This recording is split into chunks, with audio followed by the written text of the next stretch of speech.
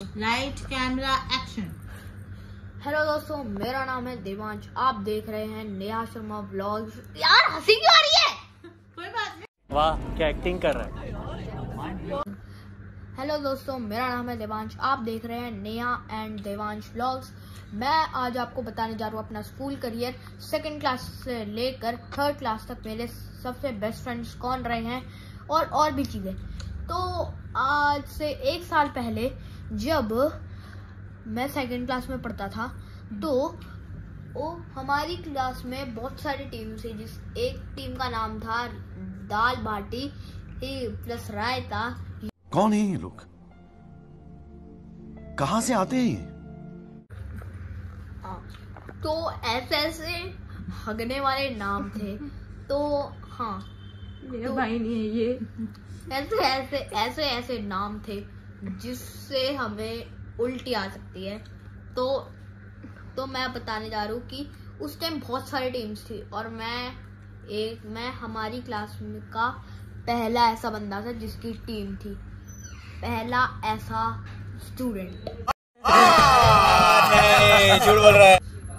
तो मैं ना लीडर था। तो ना जब हमारी क्लास में सेकेंड क्लास का कनिष्क आया कनिष्क। हाँ, कनिष्क प्रकाश। मुझे ना उससे जलन होती थी कि वो मैं मैं गौतम का दोस्त हूँ और वो मेरे से ज़्यादा कनिष्क की तरफ़ जा रहा है। क्यों? क्योंकि वो नर्सरी से दोस्त थे भाई अपने एक दोस्त के लिए दूसरे दोस्त को भूलिया तो फिर फिर उसके बाद आयुष भी आ गया। वो उससे भी दोस्ती कर ली। गौतम बोलता था कि आयुष से दूर रहे। मैं भी उससे बात नहीं होगा फिर वो खुद दोस्त बन गया। नहीं मज़ाक हो रहा है? कुछ भी। मीम लगा देना।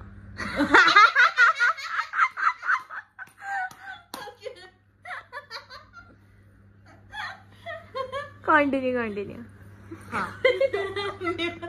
तो फिर ना मैं बहुत अकेला पड़ गया। तो हाँ। तो फिर ना सेकेंड क्लास में मैं मुझे ना एक एक और आई हमारी क्लास में नायशा। ठीक है? नहीं ये मत ये मत लगाना।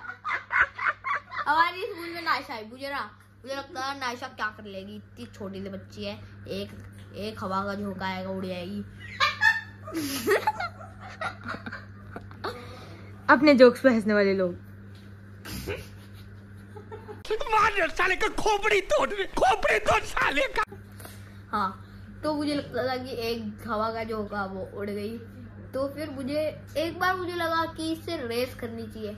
मुझे लगा कि क्या ही हराएगी मुझे। लड़के के लड़कों के पास लड़कियों से ज़्यादा ताकत होती है स्पोर्ट्स बहुत कंट्रोवर्शियल टॉपिक हाँ तो मैंने उसे आज रेस की। मैं बहुत चक्का रह गया क्योंकि उसकी स्पीड ना ऑलमोस्ट बराबर थी मान ले ये मैं हूँ और ये नाइश है। वो इतनी सी दूरी पे थी।